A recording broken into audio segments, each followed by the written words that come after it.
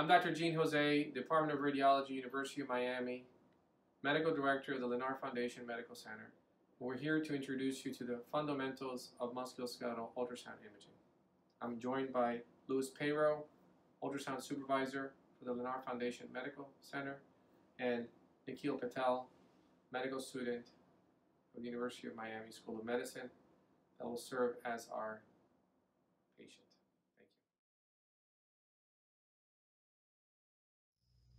Hey everyone, this is Richard Wang, one of the radiology residents. I'm going to be going over basic MSK ultrasound of the shoulder. Here's an outline of what I'll be covering today. Uh, this is for educational purposes only. I have no financial disclosures. So, basics. Because of the various positioning and orientation of the different structures, it's best to describe them in long and short axis rather than coronal, sagittal, or axial.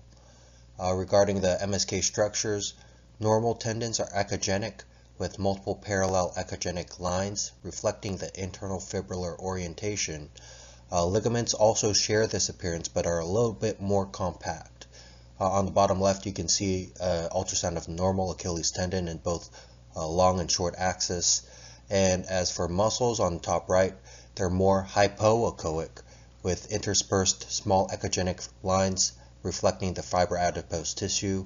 Uh, this is a short and long axis view of the gastrocnemius muscle. Uh, on the bottom right, we can see this is a median nerve. Uh, nerves have more of a fasciculated appearance, sometimes described as honeycombing. Uh, the nerves themselves are dark with low echogenicity, with surrounding epi and perineurium that's bright, which contains fatty tissue. These are some of the transducers that we use in MSK ultrasound. The left two are the high frequency linear transducers. The right is a low frequency curvilinear transducer.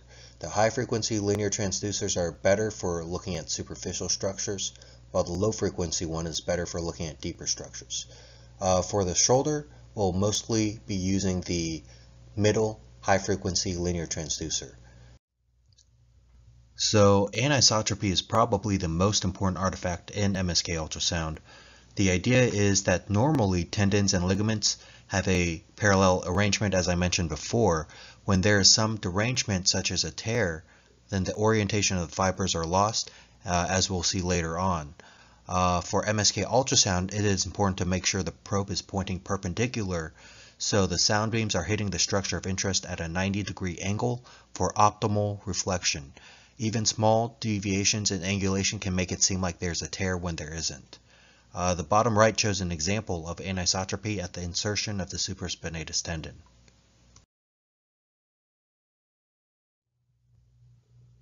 The long head of the biceps tendon comes from the supraglenoid tubercle. It has both an intra and extra-articular portion. Uh, as it passes through the rotator interval, it goes into the bicipital groove at the proximal humerus.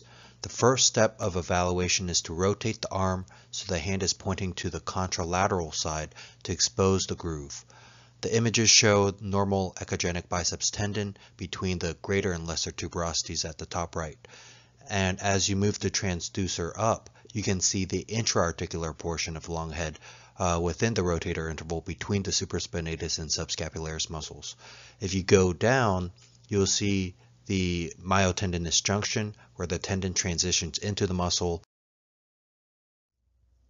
The subscapularis muscle lies in front of the scapula with its tendinous insertion mainly at the lesser tuberosity.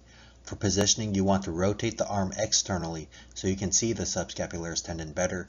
Uh, the images show the echogenic tendinous attachment to the lesser tuberosity. The bottom right image shows a short axis view of a normal multi-pennate appearance.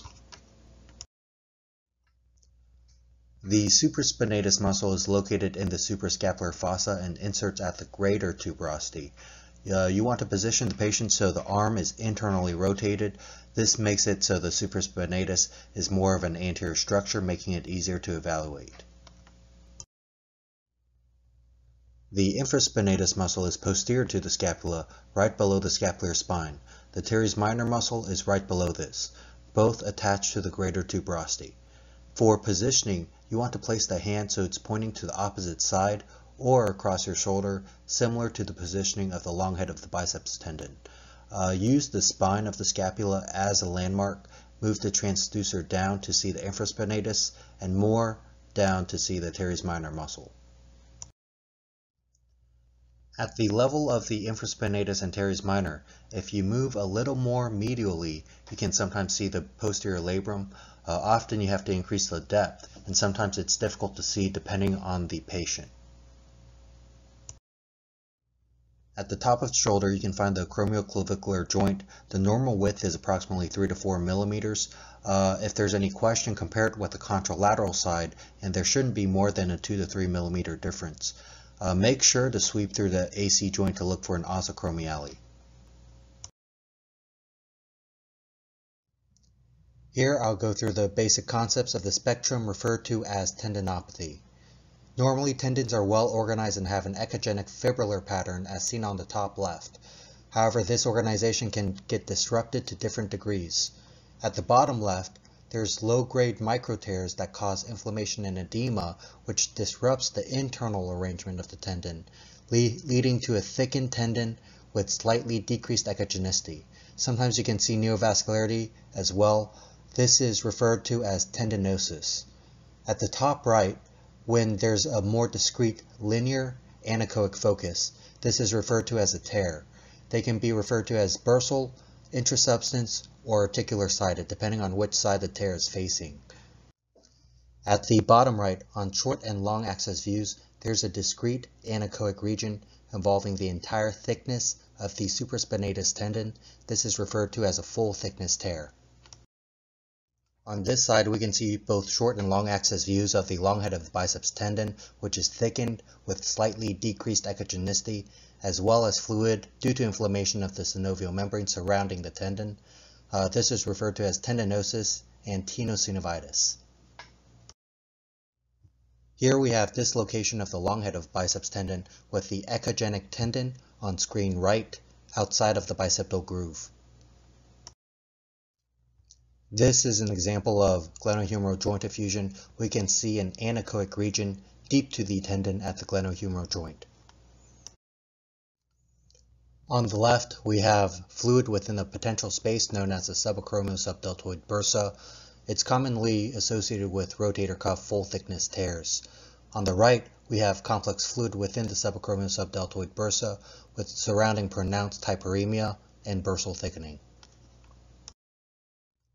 This is a case of calcific tendinopathy, most commonly caused by hydroxyapatite deposition within the tendon that later calcifies and starts to resorb which can cause pain. They look like fluffy, hyperechoic regions within the tendon. They may or may not have posterior acoustic shadowing depending on the stage of calcification. These are images of the left and right shoulders of a patient experiencing right shoulder pain. We can see on the right that the supraspinatus muscle denoted by the S shows increased echogenicity due to increased fatty tissue as well as size asymmetry with the right supraspinatus muscle being smaller than the left. This is basic ultrasound scanning of the shoulder. We want to use a linear uh, transducer. We prefer the 18 uh, linear 6 with the patient positioned with their arm on their side and their elbow flexed at 90 degrees.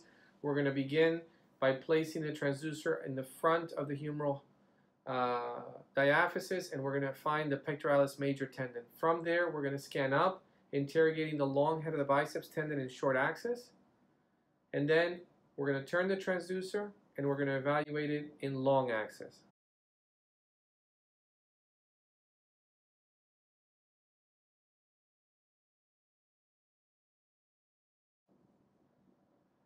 Next, we're going to externally rotate the patient's hand.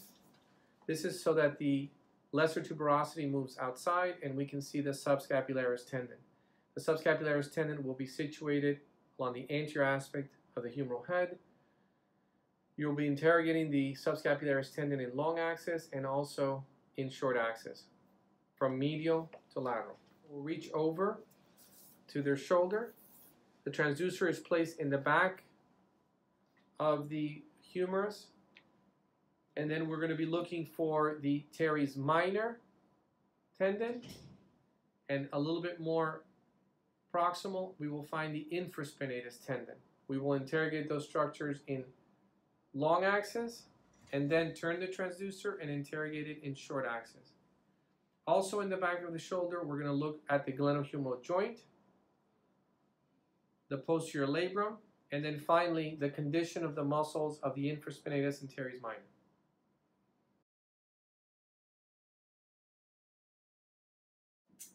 Lastly, we're going to ask the patient to reach back for their back pocket. This pushes the humeral head anteriorly. The transducer is then placed on the front of the humerus, and the supraspinatus tendon is interrogated both in long axis and in short axis. We will note the subdeltoid subacromial bursa as well.